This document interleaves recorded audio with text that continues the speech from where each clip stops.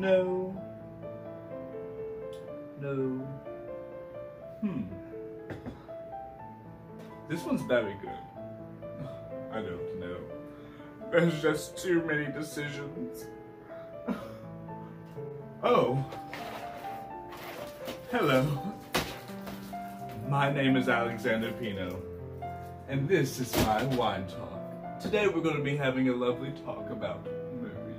You see, I love watching movies. Give me a bottle of Chardonnay, some buttered popcorn, and I'll sit on my couch and I'll watch me a rom-com or any other kind of movie. I love all sorts of movies. Oh, three types of movies that I have a certain hatred for. The cliffhangers, the excessive sequels, and the drunken scripts.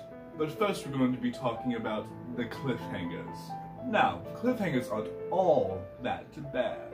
However, you see, there are certain situations where you get a cliffhanger on your favorite show, your favorite movie, but what really irks me is whenever I have seen many movies and TV shows where they have this life-changing cliffhanger.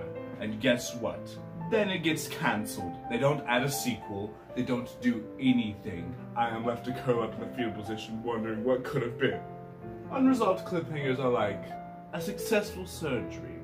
They pull the blade out, they stitch you up, make sure your wound is perfectly healed, even put some alcohol on it, and then they jam it right back in there and twist it.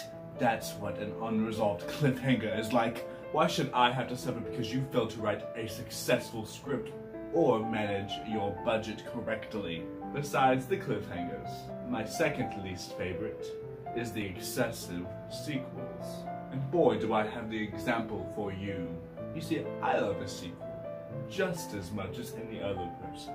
But once we got to Fast and Furious 4, did we really need to make five more? Were five more sequels really necessary? I don't think so. How many damn movies can we make about the same Fast and Furious drivers? Vin Diesel is a great actor. Do not get me wrong. Body. But is he really worth nine sequels? I don't believe so. I barely think that any actor is worth three sequels, much less nine. There is such a thing as overdoing it. Moving on, my least favorite type of movie are the drunken scripts.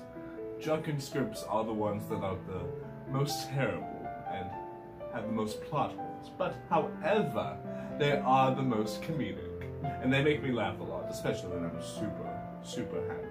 You get me three bottles of Chardonnay. Oh, do I love me a drunken script. Some drunken script examples are WolfCop and Sharknado. There's many more, many more examples I could give.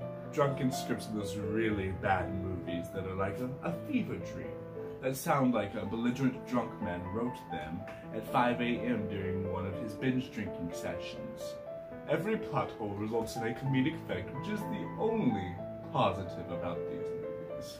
I am all for drinking, but at least write a coherent and legible plot, so I can at least sip my wine in peace instead of having to do a double take at every turn. You'd think these directors don't know how to make a damn good movie. Anywho, that's all for today's Whine Talk. But I hope you enjoyed watching today about my brutal, honest opinions about movies. And if you did, make sure to like, comment, subscribe, and hit that notification bell, okay? And remember, the world is your cup of wine. Sip on the truth and stay a while.